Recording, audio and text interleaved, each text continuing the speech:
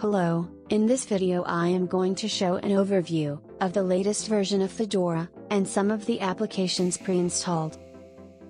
Fedora is a Linux distribution developed by the community-supported Fedora project which is sponsored primarily by Red Hat, a subsidiary of IBM, with additional support from other companies.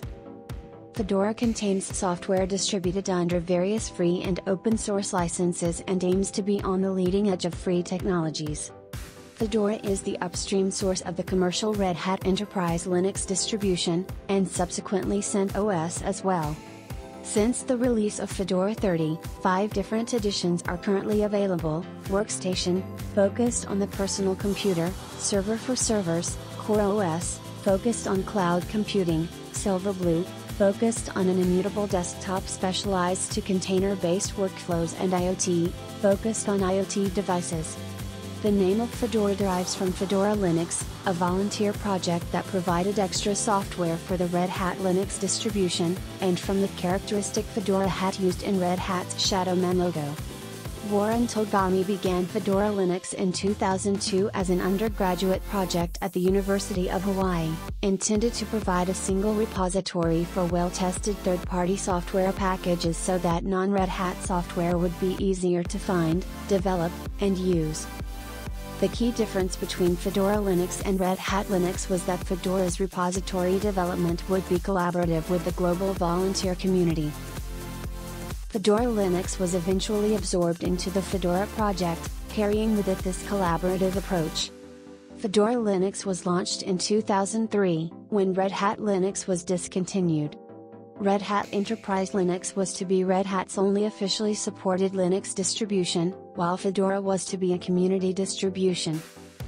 Fedora 34 uses systemd as is in its software and supports Btrfs, ext3, ext4 and XFS file systems. For package management Fedora 34 uses DNF.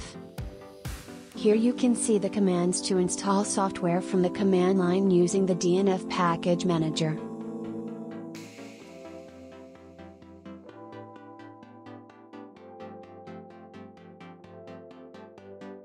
For self-contained applications Fedora 34 uses Flatpak.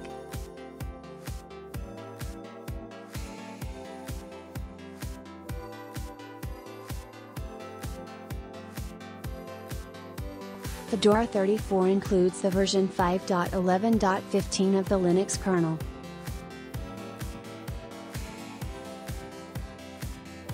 Some of the default applications of this release of Fedora are Firefox, Boxes, Cheese, Rhythmbox and LibreOffice.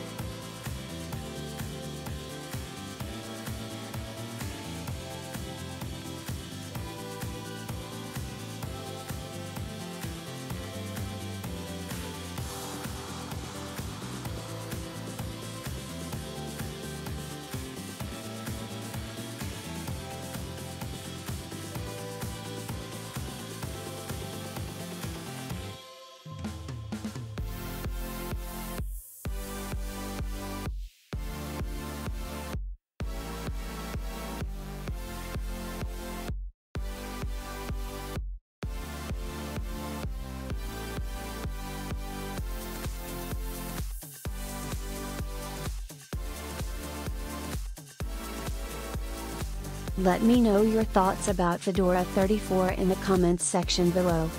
Thank you for watching the video and please help the channel by sharing leaving a like and subscribing.